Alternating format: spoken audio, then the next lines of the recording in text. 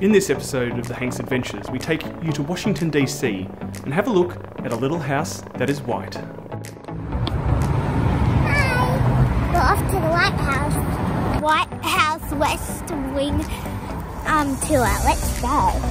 The White House gets a lot of attention, and especially when the president starts speaking. We were really surprised when we got to DC to find out just how close the White House was to the actual city itself. As you can see, the White House is located in the heart of downtown DC, but most people are used to seeing it like this.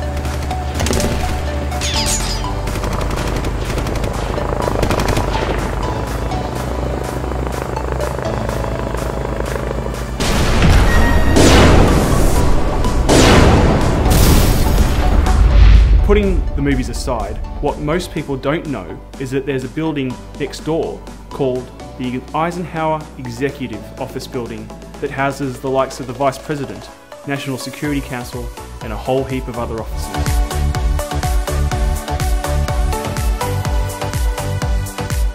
Our family was lucky enough to get a tour of this building from a friend who works with the President. But before we went over to check out the West Wing of the White House and take a few snaps in the media briefing room, we checked out the EEOB, Eisenhower Executive Office Building. As soon as we got inside the building, we could see how grand it was.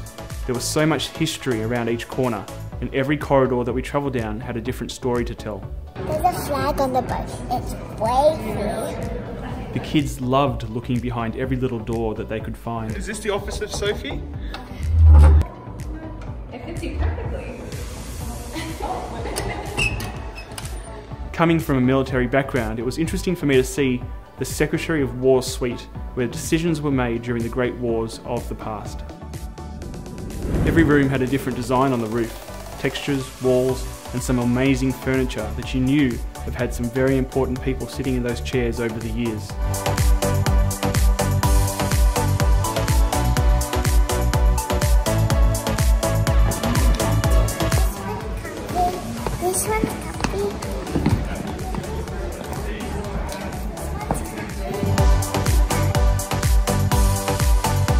The epaulets worn by this officer date back to the Mexican-American War in 1846 and are casually on display in one of the office rooms.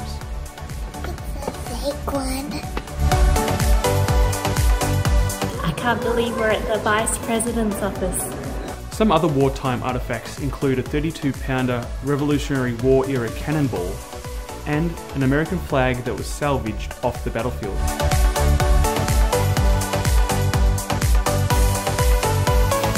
Next, we continued our tour down the corridors and past the National Security Council's offices.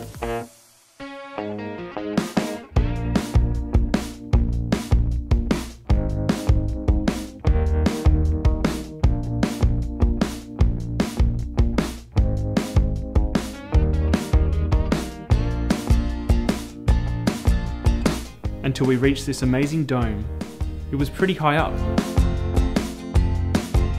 And it is reported that this dome and others like it were all covered up during the World Wars so that enemy planes could not see into the building.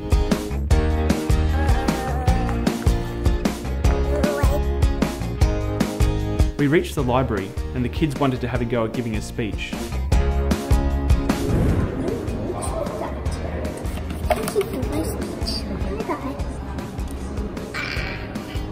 Thank The views out of the office are not too bad too. Out one window, the Washington Monument, and out another, the West Wing of the White House, where we were heading to next. So unfortunately, we weren't allowed to film inside the West Wing itself for security reasons, but what I can tell you is the White House West Wing does not exactly look like what we see in the movies, except for the Oval Office itself. The Oval Office is pretty similar to what we see in the movies. So after our internal West Wing tour, we went outside and took a close-up look at the main White House building. We were pretty excited to see the inside of the press briefing room as well, as we normally see a lot of it on TV. I was even more excited to see if we would get a chance to stand behind the President's podium. We were surprised to see how small the briefing room was, but they seem to cram a lot of reporters in there, and especially during the coronavirus briefings. Did you know that this room was built over the swimming pool and that the pool still remains underneath this room to this day? Luckily for us, this video was filmed before the coronavirus started.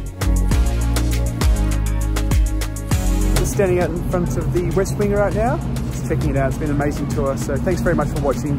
If you haven't already, please hit subscribe. We have many more of these amazing adventures and opportunities uh, here in the United States. But thanks for watching, and we'll see you all next time. Bye. So for everyone watching, thanks for your support. We really hope you can hit subscribe for us. It really supports our little channel here. Please stay safe during these uncertain times. Check out some of the other videos on our channel if you're bored. If you've got any ideas or want to see anything specific in a video, comment down below. Otherwise, thanks again, hit subscribe, and we'll see you next time. Bye for now.